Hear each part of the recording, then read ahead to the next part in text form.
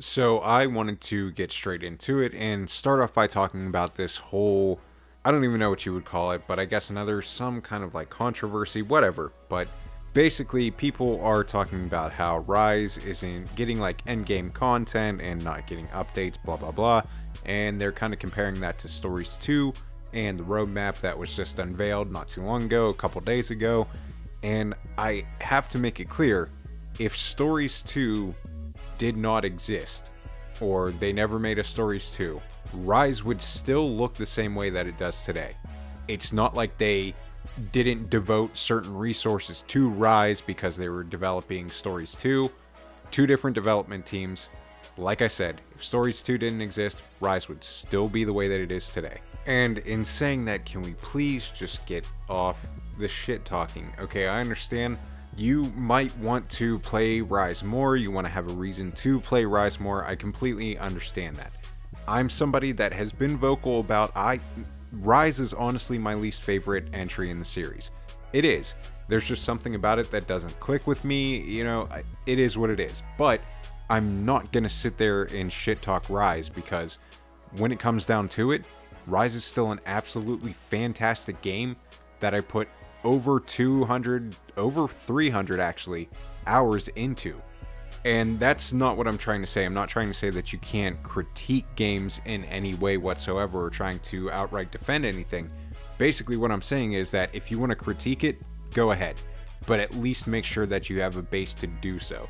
There's plenty of baseless things that have been said, like how I was talking about before, that Stories 2 took away from the resources or time that was supposed to be put into Rise, that's just not true in any way. The TLDR is basically go ahead and critique the game if you want, but just make sure it's not baseless, because then at that point you're just shit talking. And it's okay to move on from a game once you've gotten so many hours out of it. Just move on to another game, play a different game, and then when you come back, maybe the ultimate expansion will be out and then you can explore a bunch of new content or you might be able to check out a bunch of new crossover events that you might have missed out on because you were playing another game. It's okay. Rise isn't going to be a game that you're going to play forever. Or you could do what I'm doing now and go back into previous entries in the series. I'm playing 3U right now and I'm having an absolute blast. Do that yourself, explore the other entries in the franchise, and then come back to Rise when you can.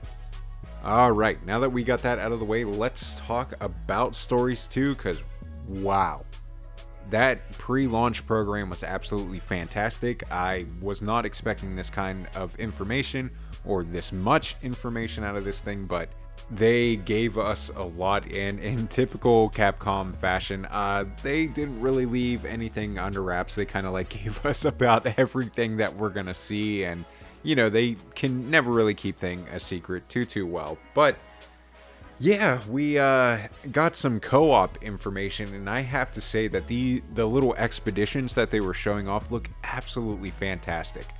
Co-op in this is exactly what I would have wanted it to be, and then some. So basically, when you're out on these expeditions with your buddy or whatever, you guys are completely independent of each other, really you can go and fight something while your buddy's going around and collecting treasure or you know if you are fighting something your buddy can join in late and kind of save you if you're struggling or something along the lines of it. And the beautiful thing of it i think that i like the most is that you can do this locally or online. It's not just strictly online which is great because i know that you know couch co-op is kind of a thing that's turning into a thing of the past and I know that local it's not exactly the same but in a sense I mean it's close to it. So having that local play as well as the online is fantastic. And then if you're somebody that doesn't even really want to play with anybody and you still want to have that buddy system you can play with NPCs so as far as the co-op goes I mean they really could not have nailed this any better than they did. Now, during uh, co-op, you can go on these expeditions, which kind of put you in this giant area, and you can make dens pop up all over the place, get multiple eggs. It's a fantastic way for you to farm certain monsters and specific genes. So this is going to be a great way of doing that late game grind to where you have your monsties that you want, but now you just got to perfect them and get the perfect genes. This is going to help greatly. And that's the thing too, is it's going to be even more fun being able to do this with your buddy and being able to help each other get those specific monsties or genes. Now, with this new buddy system in place, the one thing that was worrying me was the difficulty and how they were kind of going to adjust that, being as that we have a whole entire rider and other monstie that is going to be fighting with us. I don't know if that's going to be all the time or not, but regardless, with that in place, I was kind of expecting them to do kind of like a difficulty shift or balance it in some way. The good thing that we got out of this pre launch program was that they are going to be doing things like Kulve Taroth and co-op quests that are going to be significantly harder than the things that we're doing in like base game, which is fantastic. It also says to me that we're probably going to have similar things in the story itself, like the base game when we have our NPC buddies, we're probably going to be fighting much harder monsters, which would be great. Another thing that I was happy to see as far as co-op is that there are going to be co-op trials kind of like the two trials that we had during the demo that were kind of solo.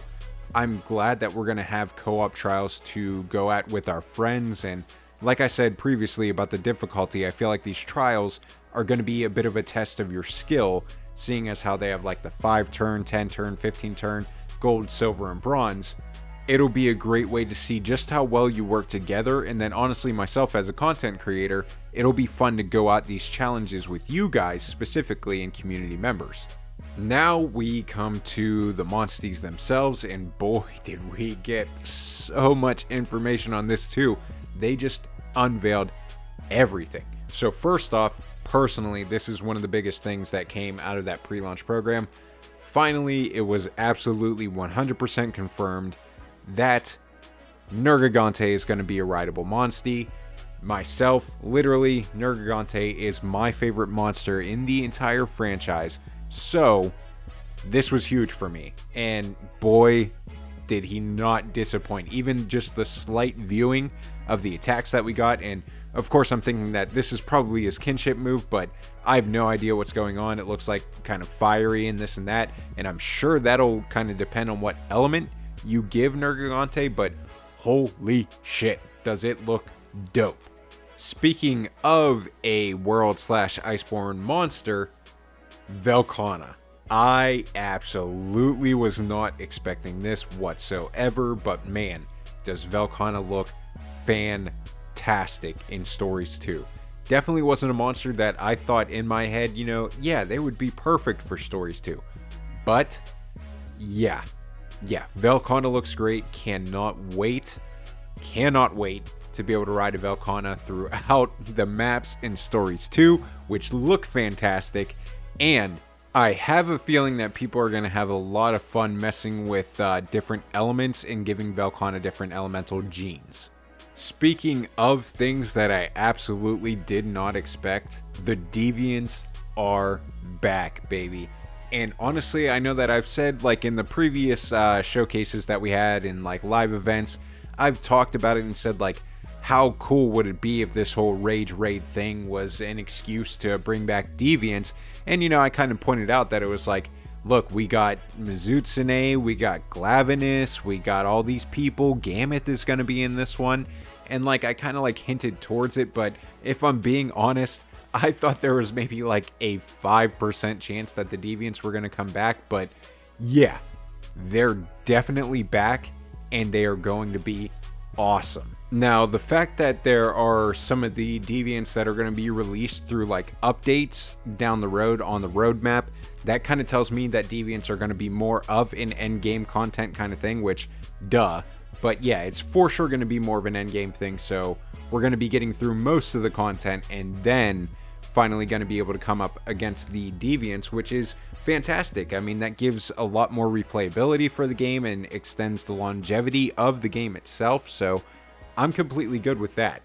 And the fact that we're getting some through updates, I'm kind of surprised at which ones we're getting through the updates. I kind of figured that Bloodbath would probably be the last one that we would get, but him, Grimclaw, Thunderlord, Dread Queen, Silverwind, they're all already gonna be in the base game. So I mean, I have no complaints, but yeah, I was just kind of surprised at the order that they're gonna be coming in.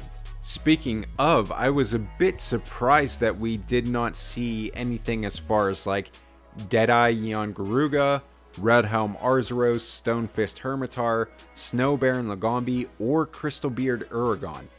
And I was I, I was I was kind of surprised not to see these monsters, but the fact of the matter is is that we just might not see them at all because like I was talking about earlier, Bloodbath kind of seems like he was like the end game of Deviants. You know, it seemed like he was the toughest, strongest, all that stuff.